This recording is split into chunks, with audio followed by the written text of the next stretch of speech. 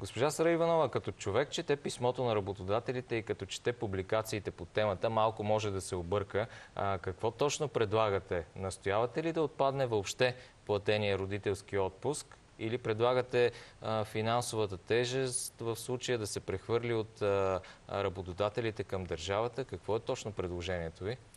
Бих искала да започна първо от а, едно кратко обяснение какъв е смисъла на платения годишен отпуск. Защото голяма част от дискусиите са породени а, първо от а, едно незадълбочаване в това каква е разликата между а, платения годишен отпуск и темата, която се породи от решението на Европейския съюз.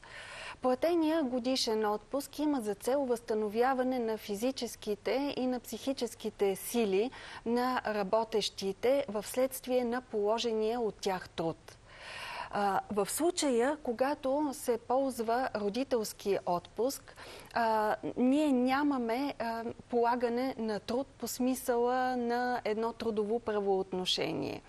Тоест, в случая не следва да се говори за натрупване паралелно по време на ползване на този отпуск на платен годишен отпуск, чиято цел поначало е различна. Говорим за две различни измерения. Има и едно друго нещо, което би следвало да се отчете, когато буквално се прочита решението на, на, на съда по българското законодателство все още няма изрично регламентиран родителски отпуск. Ние говорим за отпуск за отглеждане на малко дете.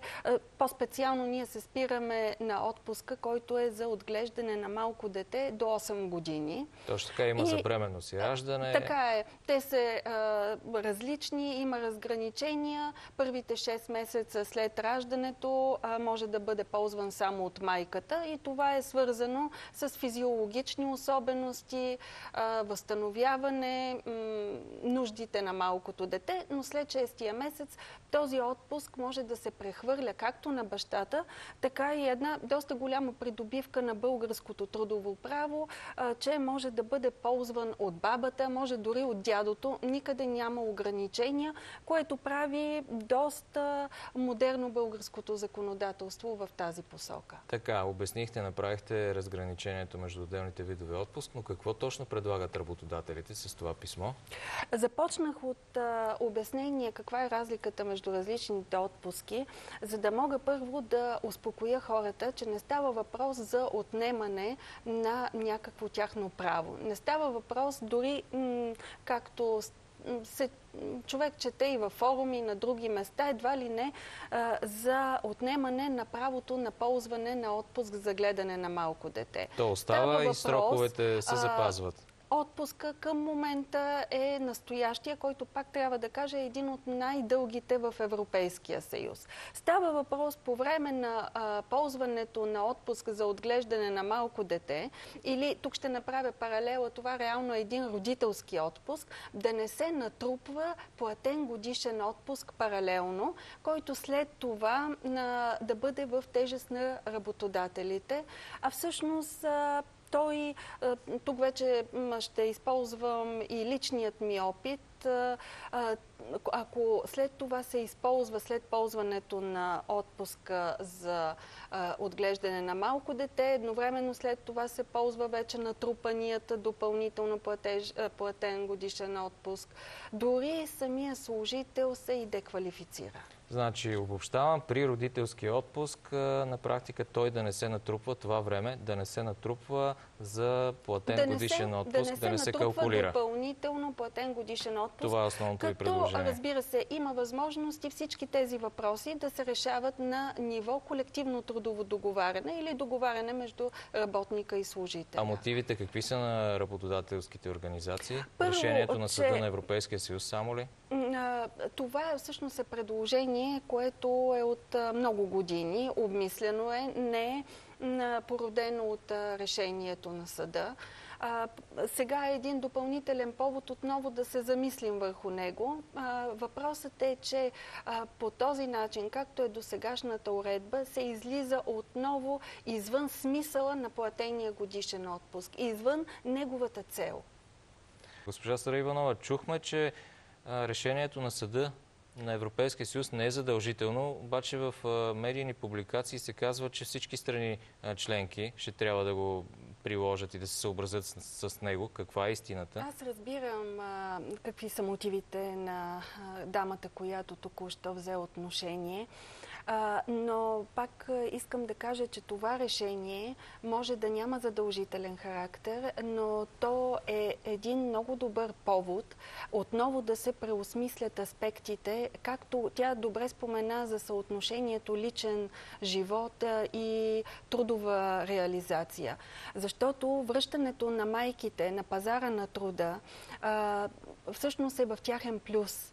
По този начин те могат да се реализират добре и професионално, не само лично, а това е една от концепциите и в общоевропейското разбиране на въпроса. Може би, но има изключение от общото правило. Ако, примерно, майката е сама, няма близки, съпругът и партньорът и го няма, тогава какво прави? Кой помага? Как ще се върне веднага на работа? Разбирам ви. Тук малко излизаме, разбира се, извън темата на нашите предложения. Но пак ще кажа, по никакъв начин не се губи отпуска за гледане на малко дете. Не се губят обещетенията, които са по кодекса за социално осигуряване. Тук говорим само за това допълнително натрупване на платен годишен отпуск, което пък е в тежест на другата страна, на работодателите. Но по никакъв начин не се накърняват правата на родителите. Пак ще говоря за родители вече, защото чрез това решение и чрез нашите предложения пък се преодолява и една все още съществуваща дискриминация между майките, бащите.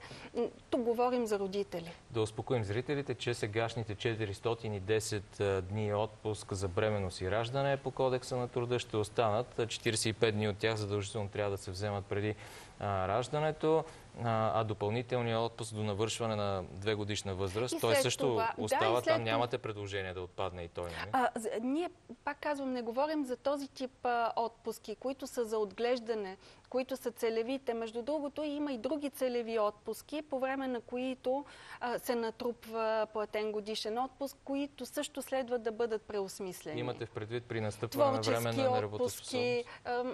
други отпуски, които са уредени в кодекса на труда. Не, се, не става въпрос само за тези, които са за отглеждане на малки деца. Да поговорим и за работодателските квоти за наемане на хора с увреждания и за въвеждането на евентуални компенсационни вноски вноски, ако това задължение не бъде а, изпълнено.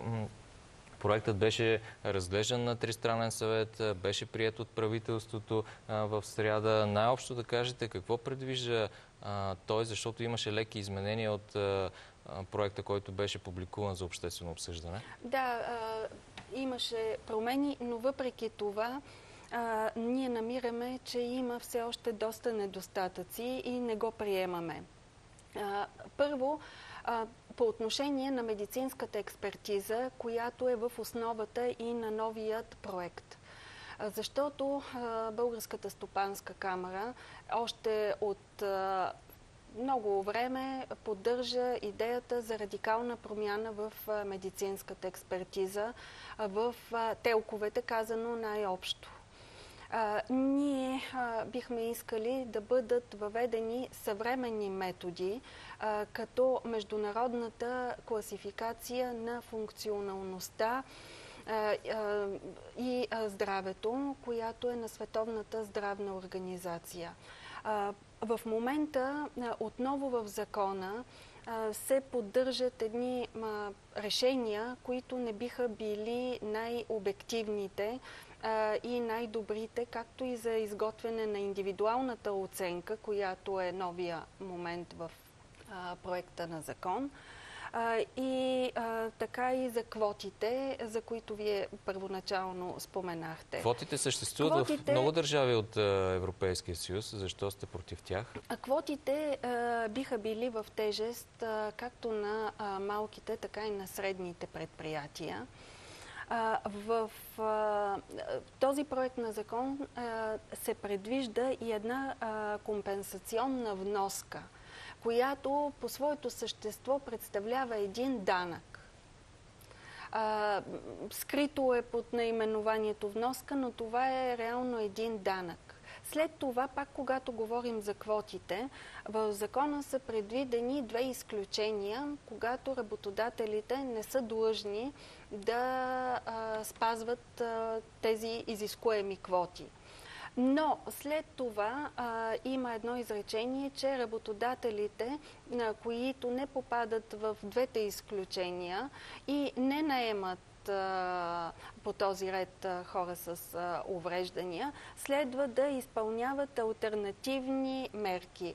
Казано е толкова широко, че не може да се разбере какво се има предвид под альтернативни мерки. А при положение, че безработицата в страната е близо 5%, т.е. рекордно ниска от години, не сме виждали е, такава, а, защо работодателите се противят на това предложение? Хората с увреждания се смятат на практика за един неизползван ресурс.